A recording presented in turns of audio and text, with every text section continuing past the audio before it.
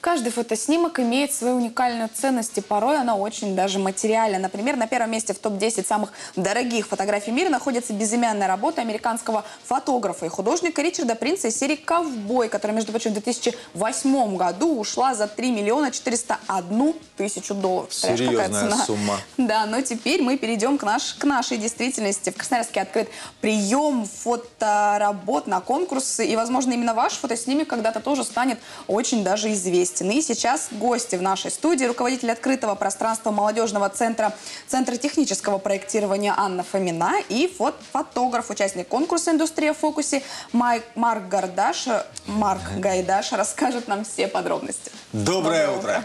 Анна, ну, наверное, первый вопрос к вам, как к организатору. А кто может принять участие в этом конкурсе и что для этого нужно сделать? Э, В этом конкурсе может принять участие любой желающий. Человек, занимающийся фотографией профессионально, либо только начинающий свой путь в этом искусстве. Э, Главное, чтобы работы соответствовали, соответствовали нашей тематике. Тематика э, конкурса «Индустрия в фокусе» – это индустриальные здания, сооружения, различные техногенные, а, также там э, оборудование, сооружения и все в этом. Ну, это, видимо, и как работающие, так и заброшенные можно тоже да, снимать. заброшенные тоже. А есть ли уже прям какие-то сформированные номинации или же впоследствии того, что пришлют, вы будете уже как-то распределять? А, Нет, мы решили, что номинации не будет, поскольку ну, тема достаточно э, неразработанная, как нам кажется, и поэтому э, мы хотим просто посмотреть, какие работы придут к нам на конкурс. А снимать можно только в крае или принимаете снимки со всего мира? Э, Нет, только в Красноярске. Только в Красноярске. И э, в одном- Красноярском и крае. Красноярском крае. Хорошо, тогда вот э, все сейчас фотографы задумались, начнут снимать, начинается конкурс. Кто будет оценивать работы?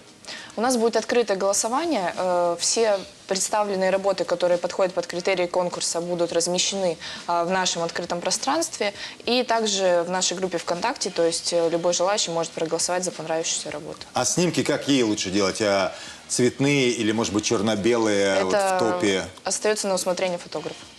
То есть как сам видит человек, так и пусть Да. присылает. Это, наверное, уже можно к, к Марку отнести этот вопрос. Вы уже являетесь участником фотоконкурса. Какую работу вы прислали, о чем она, как выглядит? А, Ну, насколько я сейчас помню, я три или четыре работы прислал. Они так или иначе оба индустриальном пейзаже.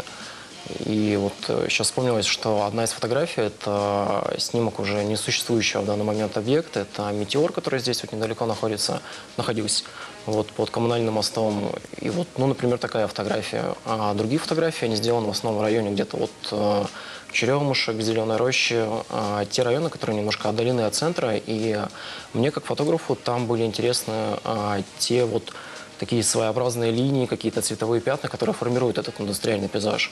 Эм, Сам по себе конкурс считаю очень интересным. Я люблю эту тематику, люблю это снимать. Большая часть портфолио моя, по крайней мере, вот первые 3-4 года, пока я занимался фотографией, она как раз состоит из индустриального пейзажа.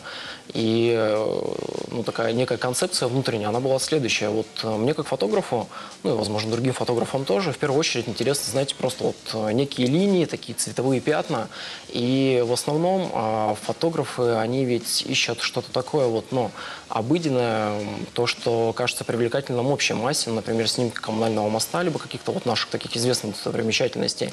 И Ну, мы такая- это постоянно в соцсетях видим. вы да, разумеется. И вот именно такие темы, а, как индустриальный пейзаж, они позволяют а, найти вот это вот соотношение линий каких-то цветовых пятен не только в том обыденном, что мы смотрим, а еще и в том, что есть а, ну, где-то со стороны.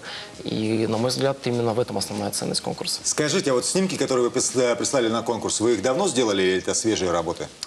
Я думаю, что большая часть из того, что прислал, давно сделал, но есть и свежее. Я регулярно снимаю сейчас точно так же. А сколько вообще вы увлекаетесь фотографией? Чуть больше пяти лет.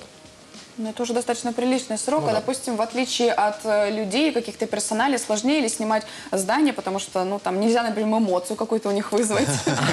Совершенно А, другое. абсолютно разные съемки. Не могу сказать, что сложнее, что легче. Там, там своя специфика, там своя специфика. А вы используете там подсветки какие-то? Ну Или просто нужно ловить, вот э, как природа даст, и все? А, Я знаю фотографов, которые используют подсветки. Это смотрится достаточно интересно, но я работаю исключительно с тем светом, который мне предлагает природа, Вселенная в данный момент. Но не секрет, что многие такие объекты, они охраняемые объекты. Как здесь быть? Как обойти охрану? Ага, ну, я лично с таким не сталкивался. Опять же, есть знакомые, которые э, прям сильно увлекаются съемкой вот индустриального пейзажа. И ходят в синяках.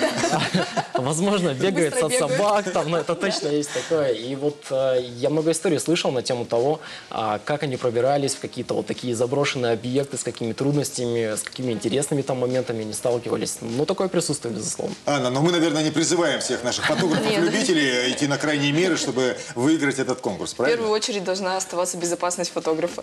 Безопасность. Скажите, а, ну, прости, а сколько вообще снимков вы готовы обработать а, на этом конкурсе? Вот если начнут присылать и все, это будет поток невообразимый.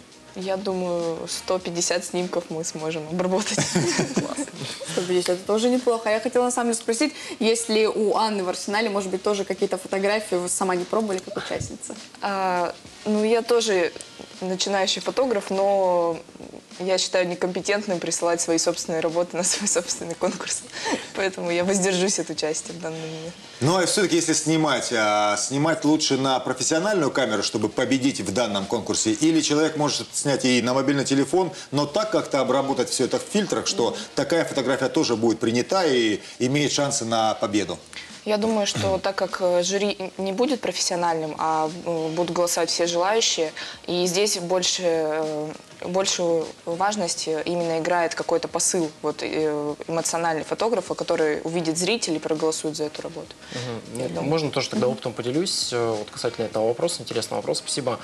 Э, Я с уверенностью могу сказать, что современные смартфоны, см- современные телефоны, они совсем неплохо снимают. Вот э, есть некая тенденция, я э, по своему опыту сужу, за последний там, год-полтора э, процентов примерно 50-60 э, тех снимков, которые я публикую в свое портфолио ВКонтакте, оно состоит из снимков, снятых на мобильный телефон. У меня были снимки на выставке на персональные, снятые на мобильный телефон, поэтому можно снимать на камеры. ну, главная точка интересная найти ракурс. Марк, вы уже дока в этой теме, а все-таки много у нас а, в городе и в крае таких вот индустриальных объектов, которые достойны попасть на, в объектив. Да, очень. В крае особенно, Норильск, э, другие города, в Красноярске, в частности, очень много таких объектов.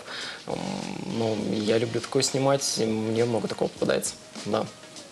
Но я думаю, что, наверное, использование фотошопа не допускается в работах. Они должны быть насколько вот эм, сильно обработаны или вообще никакая обработка, просто вот как сфотографировал, так и выложил. Ну, в положении указано, что допускается разумная ретушь кадра. Ну, то есть это уже как бы на усмотрение оргкомитета принимать работу совсем э, слишком отфотошопленную или нет. Но мы да, уже выяснили, что принимаются работы, сделанные на гаджеты, а сразу увеличивается количество участников, снимают даже дети. Есть какой-то ценз, вот, а, кого принимаете? Нет, абсолютно. То есть даже пятилетний ребенок может так снять и выиграть главный приз? Ну, почему бы и нет? А можно небольшой, вот, а, немного приоткрыть завесу Да. тайны, призы какие? А, ну вот э, пусть это останется некой интригой, то есть призы уже подготовлены, но мы никогда не отказываемся от помощи партнеров, э, ищем новые, э, ну, новых партнеров, которые бы нам могли помочь. А как, как долго и где потом будут размещаться работы? Можно же будет потом прийти и посмотреть, например, их? Да, мы планируем, что в нашем открытом пространстве будет действовать постоянная фотовыставка, которая в дальнейшем будет обновляться и дополняться новыми работами. Итак, когда, до какого числа, вернее, нужно присылать работы и потом а, до какого, опять же, числа ждать э, результата и волноваться? А, Работы принимаются до 10 до 10 ноября на электронную почту. И э, с 14 по 28 ноября будет проходить голосование. Соответственно, 29 ноября будут подведены итоги конкурса. Спасибо. Я сегодня выхожу и сразу нахожу какой-нибудь завод, начинаю фотографировать со всех ракурсов и потом отправляю вам. Спасибо. Хорошо, Спасибо, большое вам за Спасибо вам. информацию. Остается действительно только э, отправить, сфотографировать что-то и отправить э, на- для того, чтобы поучаствовать в фотоконкурсе «Индустрия в фокусе». Я напомню, у нас в гостях были Анна Фомина, руководитель открытого пространства молодежного центра, Центра технического проектирования и Май- Марк Гайдаш, фотограф, уже участник конкурса «Индустрия в фокусе». Мы желаем вам хорошего конкурса и победы. Спасибо.